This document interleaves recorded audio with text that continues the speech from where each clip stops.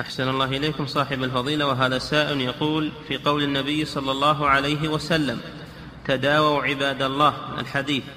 فهذا الحديث فيه أمر بالتداوي. السؤال ما هو صارف الأمر إلى الإباحة؟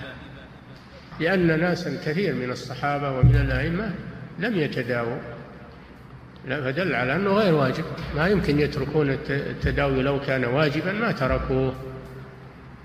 أبو بكر وغيره من الصحابة لم يتداووا نعم.